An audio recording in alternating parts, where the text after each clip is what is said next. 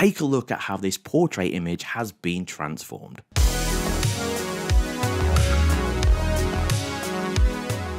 Today I'm going to share with you Retouch4Me. This is a bunch of plugins that can be used inside Photoshop. They can easily be applied instantly and they will make changes quickly, make them look professional and more importantly, make them look natural. Let's jump in and take a look. There is a panel which you can use, it's free. So you can download this from the Retouch4Me website.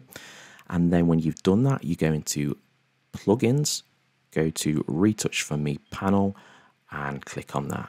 And then this will show here on the right hand side. So what is this? It's a panel where your plugins are stored and you can choose which plugins you use and they will then automatically be added to this panel when you activate them. You've got Cloud Retouch. Now, this is a subscription service. If you want to sign up to that, you can do. You can get 200 retouches for $20 a month, and this works out at 10 cents per credit if you're from America, or it works out about 8 pence or 7 pence per retouch, which is very good value for money. But I'll leave that with you to check out in your own time. If you don't want to do the cloud retouch because you don't want to sign up to the subscription base, good news, you can just download them on your device like I did and you can get them individually or you can get them all. So I'm going to show you how these plugins are going to work for you and how you're going to benefit from using them. Now you can see that these have buttons here to activate each one of the plugins. So let's start from the top. We're going to use Heal and you're probably aware of what this will do, but let's activate it. And this is going to heal the skin.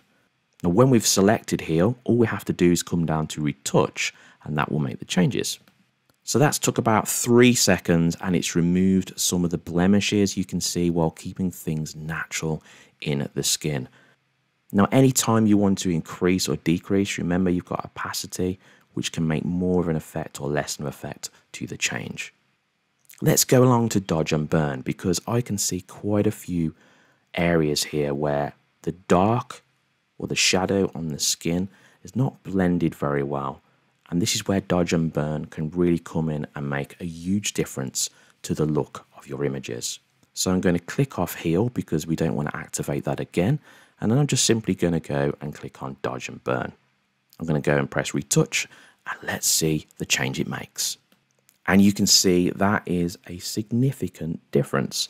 That's really blended and smoothed out those light and dark areas in the skin. Now let's have a look at the before and after on these two layers so you can see the difference that it's made. Look at all these areas here which have been taken care of and significantly been improved. Portrait Volumes is a brilliant plugin actually and what it does is it really adds more depth and creates more of a contour in the face, so more structure and depth as you'll see in a moment. So I'm going to activate this plugin, press retouch, just put it on that layer there, and then you'll see the difference. Look at that there. You can see there's so much more depth in the skin because of the shadows which have naturally been applied to the structure of the face. So if we just switch this off, you can see that's made a beautiful difference to the overall image. Now inside each one of these plugins, there are options. Options to change the amount of the blend, which will increase the overall look, or if you bring this down, it's going to decrease it. And you have portrait scale as well. This really tells the software if you're doing a close-up portrait, half length or full length.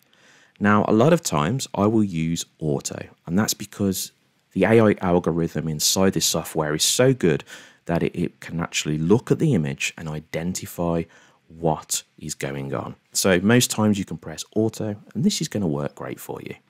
Skin Tone is a brilliant plugin for balancing out those areas in the skin which don't look like they match. We can see this area here is it's very orange and it doesn't really match with the rest of the skin and you've also got some of that kind of bleeding out here onto the top of the cheekbones.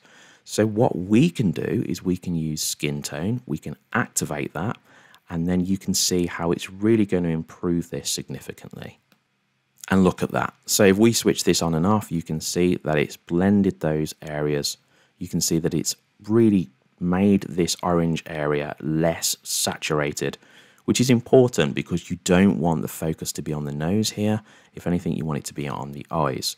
So if you do want to increase that, we can of course push up the opacity and you can see that that's going to just smooth out that skin color a little bit more. And then let's have a look at the before and the after. It's made a real difference overall and now the skin matches all over the face. I think it's important to have a look at the before and after at this point in the retouch so you can see how far we've actually come. So I'm going to select all layers, I'm going to put them into a group and let's, oh, I've missed that one. Let's pop heal in there. And let's have a look at the difference we've made. So this is the original image. We've got lots of areas here. They stood out for all the wrong reasons. Got these dark areas here which weren't blended very well into the skin. You've got some imperfections which we took care of. And we've also balanced this colour which wasn't matching with the rest of the skin. And then when we put this back on, you can see the significant difference it's made while keeping everything looking natural.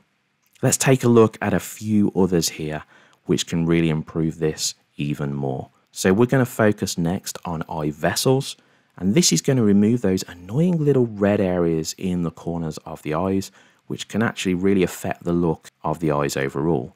If we just switch this on, press retouch and voila, the red areas as you can see have been removed. Now let's really complement this by using the eye brilliance tool and this is really going to create a nice pop effect to the eyes where they're going to make them look brighter and they're going to stand out more in the portrait. And look at that, there we go. And if we of course wanted to make any changes, we can just once again use the opacity if we want to bring those down. I'm just going to bring those down a little bit but not too much to keep this looking as natural as possible. And I think with this retouch of Sally here, we have done a brilliant job. We've kept it looking natural. We've managed to retouch the skin and we've got that professional look. These retouching plugins are so simple to use as you've seen.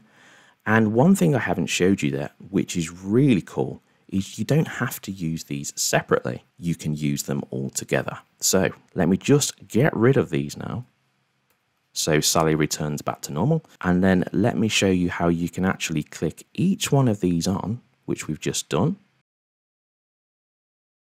And then all we simply have to do now we've chosen them all is go ahead and press retouch. And there you go, selecting all of them together has enabled us in just a few seconds to make this overall change to Sally's face, which has really improved the image.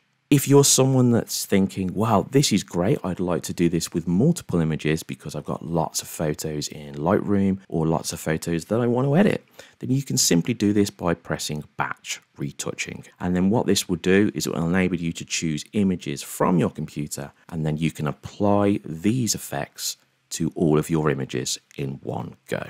Now, I haven't got time today, unfortunately, to look at all of the plugins that Retouch4Me offers. But I will say that the other ones are also brilliant too. You've got dust removals, you've got white teeth, skin mask where you can just select the skin in the image. You've got fabric, which also blends and smooths out the fabric and creases, which can be very annoying sometimes in a shoot. You've got clean backdrop, which gets rid of the dirt and smooths out the backdrops in your images. And finally, you've also got mattifier, which is very good for smoothing out highlights in the skin when you've got those real bright highlights which just detract from the overall image. Guys, I want to thank you for watching this video today. Remember, there is a 30% off discount in the description if you're interested in this great software. Whatever you do for the rest of the day, guys, have a good one, and I'll see you in the next video.